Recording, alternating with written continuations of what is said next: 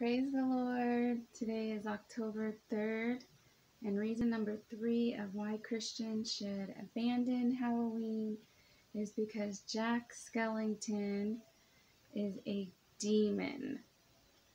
I was a Jack Skellington fan for years. Jack Skellington has a huge following. Um, I had Jack Skellington house slippers, sweatshirt, t-shirts. Um, my nephew bought me a keychain. He knew how much I liked Jack Skellington. I was a big, big fan of him. Even after I developed a hatred for Halloween many years ago, I would still watch it. I had the soundtrack to the movie. Um, and this is this is why because I felt like I could relate to um, one particular song called Jack's Lament. And it's this particular song on my TV. Um, but he basically says that year after year, it's the same routine. He grows so weary and tired of the same old thing. There's an emptiness um, inside of him that's growing. And he basically says everything in his life is just all vanity. There's no real meaning to it. Well, as a Christian, we know we can't relate to that, right? Because our the Lord gives our life meaning. We live for him. We're not empty. The Lord lives inside of us. His spirit lives inside of us. Jesus Christ lives inside of us, right? So, um, and when we're feeling weary or tired, we go to the Lord and we get our strength from Him, right? We renew our minds with the Word of God. Um, the Lord refreshes us.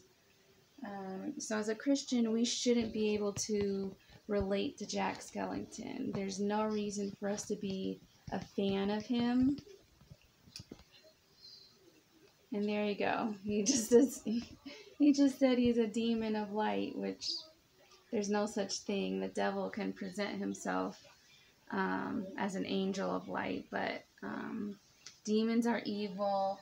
We shouldn't be a fan of a character on a TV screen um, that's evil. Um, so let's go to the Lord in prayer and let's renounce Jack. If you've been a fan for many years like I have, let's go ahead and renounce um, renounce that, okay?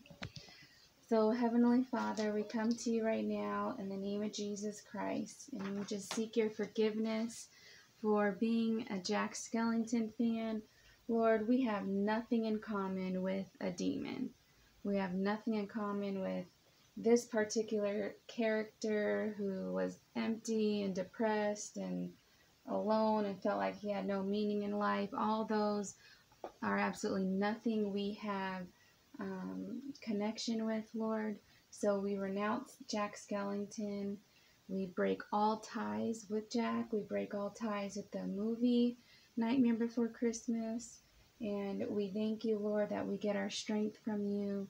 We thank you that um, that our mind is renewed in Christ with your word, Heavenly Father.